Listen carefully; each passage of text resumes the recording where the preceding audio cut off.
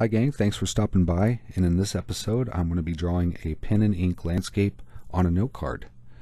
And I did this on a note card because uh, it's a lot easier for me to film smaller pieces because it takes less time and I don't want my videos to run forever and plus I don't want them to play at like 300 times normal speed so I thought I would just do kind of a, a doodle a doodle kind of landscape on a note card to demonstrate a couple things. One, you don't always need the best materials and the best supplies to produce a nice piece of art. So if you don't have the best equipment, if you don't have the resources to invest in the best supplies and tools, don't give up on art.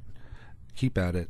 Uh, not having the best things, life is a little bit harder, but when you are finally able to invest in the best tools and the best supplies and materials, your art is going to be just explosively good. So, uh, develop your technique with some of the I won't call it inferior, but you know, just your basic supplies. Like this pen cost me 33 cents, seriously. And I have another pen that I'm going to use. It cost me 50 cents. And I fly through them, but it's not a huge investment. And I'm able to do pretty much what you could do if you spent two or three dollars on a pen. So uh, maybe I could draw better with a two or three dollar pen. I don't know.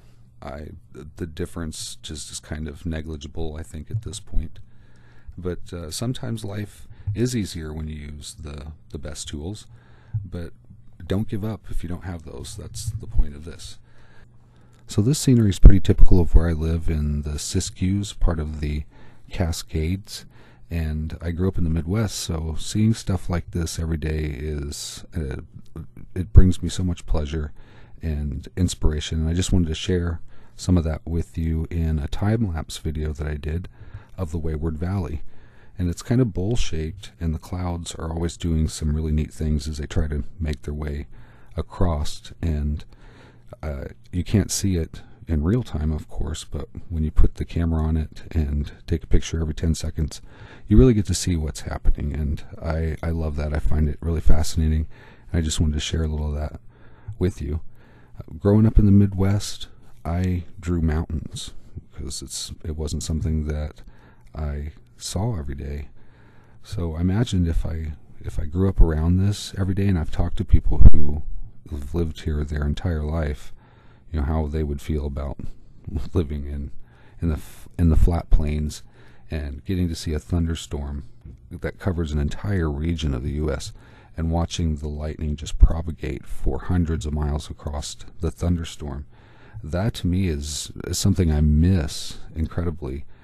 Um, it's beautiful in the Midwest when you see stuff like that. It's also terrifying because sometimes it means there's tornadoes or, you know, lightning strikes can cause house fires. Here, thunderstorms are especially terrifying because they cause forest fires, and those can you see them on the news all the time. They do an incredible amount of damage, and they're absolutely terrifying. So when I hear lightning, or when I hear thunder and see lightning out here, I get really concerned, and so do most people. But not so much in the Midwest. A lot of people will go outside and watch a, a summer a summer thunderstorm in the distance and enjoy the orange glow of heat lightning, as we used to call it. Um, I recall those scenes with fondness. So I imagine if I grew up here, maybe I would would draw cornfields and and barns. But growing up in the Midwest, I drew mountains, and finally, as as an adult, well into my adulthood, I'm fortunate enough to live here now, and it's brought me great inspiration. And I doodle the stuff that I see and being able to study it in detail out here and really get to learn how this should look, I think it has helped me grow tremendously as an artist. So, in the last couple minutes here, I want to tell you another reason why I am drawing this. Um, the other day, I, I work a second job. I work outside, and um, I am a fueler in Oregon. There's a law that you can't pump your own gas, and they pay people to put gas in your car, and I do that as a side job for a number of reasons that um, really work well for me, and it's something that I really enjoy. But in the course of my job, on occasion, it can get pretty busy, and I'll not collect money for gas or whatever will happen. It, there'll be some confusion. So I usually make up the difference. Well, the other day I ended up, it cost me $35 for gas, and I don't even have a car.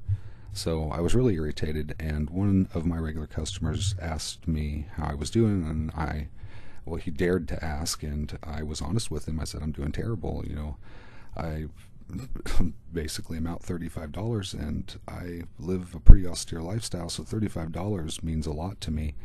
And he was very sympathetic and he usually tips a dollar or two and he tipped me a dollar and I said thank you I really appreciate that. And when I opened the dollar there was a check in there for $35 so uh, I was really touched. So I'm drawing this for him and I'm going to give him back his check with the assurance that I'll be okay and a nice message to let him know that uh, his generosity really encourages me and lets me know that there are really nice people out there. All right, there it is, another episode. Thanks so much for stopping by. I really appreciate it. It means the world to me. It means a lot more than the $35 I lost. so just keep visiting, keep hitting like, keep commenting. Here's a video that you can check out if you haven't. Hit subscribe and take care.